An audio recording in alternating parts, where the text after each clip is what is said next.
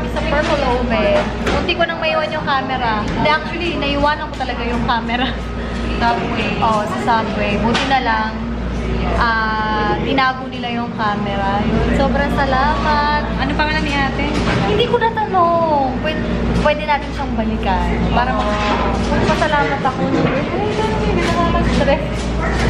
Anyway, ayun. So, bumili kami na.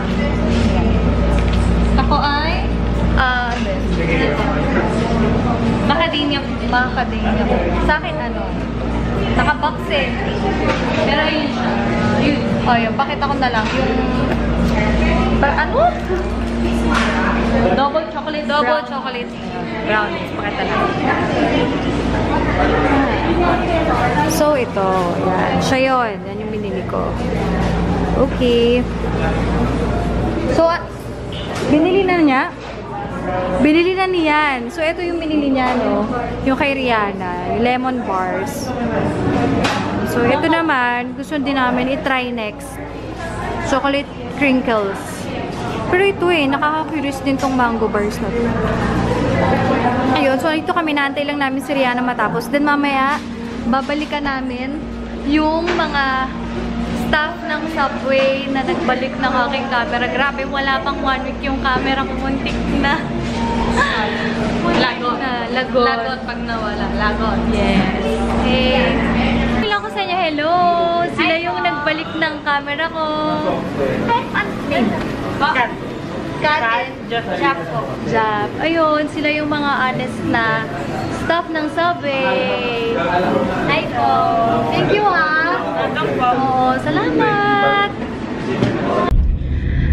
Yun, so sobrang salamat at nakuha ko yung camera ko. Grabe. Hindi siya kasi, eh, okay, nagpapalusot ako pero nakalagay kasi siya sa ganito. Kasi wala pa yung silicone case niya. Eh, mas, syempre, inisip ko na para hindi magasgasan, inilagay ko dito. Pero, ang ending, hindi siya masyado kapansin-pansin. Kasi sabi ni Eri, nilingon naman daw niya. Lagyan ko nag-check ng table. Oo, nag-check siya. Kung may naiwan. So, wala naman siya napansin. Kasi nga, oo, kasi nga, yung lalagyan niya, mukha rin Hindi naman kaya basura. naiwanan mo sa mismong ano? Sa mismong counter?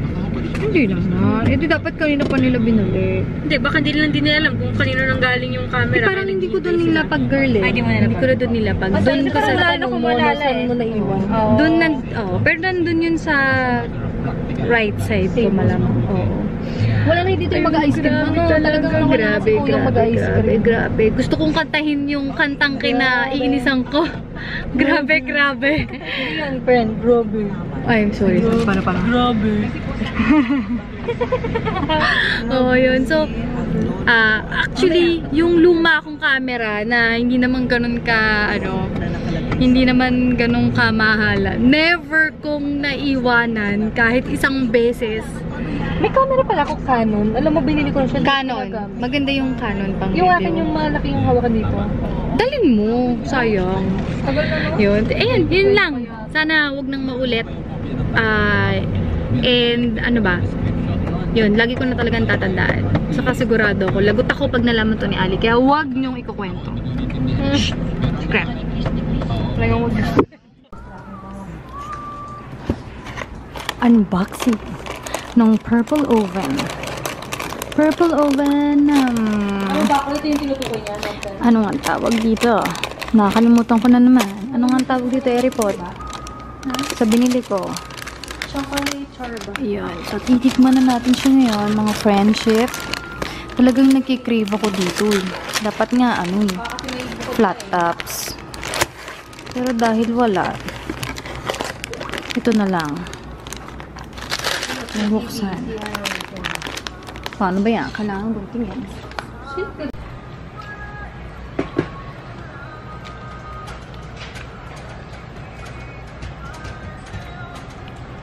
Hindi siya matamis.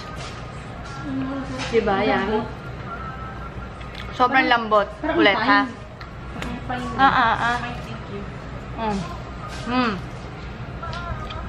Hindi siya matamis. Bagay na bagay sa mga taong ay na matamis. Ang galing ko, no? Ang sarap niya. Look. Feeling ko isang upuan lang to.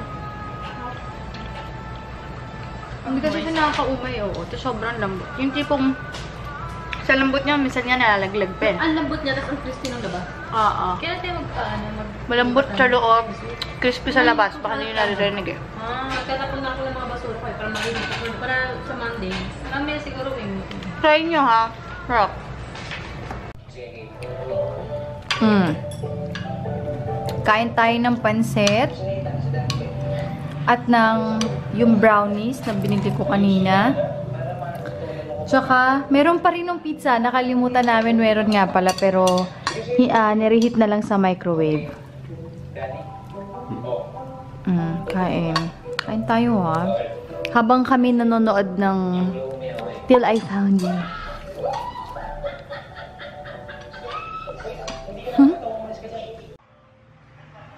Tapos na kami kumain at ano ba? Wala, ano na kami ngayon? Kanya-kanya nagsi-cellphone. Yung isa dyan, ganun din nagsi-cellphone habang nakabukas yung TV. 10.30 na, so dapat siguro magpahinga na rin kami. Pero bukas, Sabado, walang pasok. Ah, ang alam ko, meron kaming event nga, may event kami bukas, parang gathering ng family sa mother side. Yun. Um, Siyempre, i-vlog ko yun, kasi minsan lang naman yun eh. Tapos ano pa ba? Si Ali may pasok. Babe, pang ilang araw mo bukas? So, work. Last day yata. Ah, okay, last day.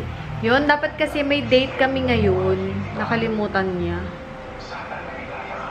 Ayun, kaya, risked na lang. Siguro ba sabay na lang din ng grocery, no? Sabay na lang grocery. Yun, kasi hindi pa namin, hindi pa kami nakapag dinner nung nag-birthday siya. Ayun, guys. Sige, magpapaalam na kami.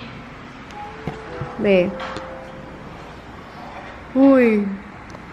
Busy ka. Good night. Bye.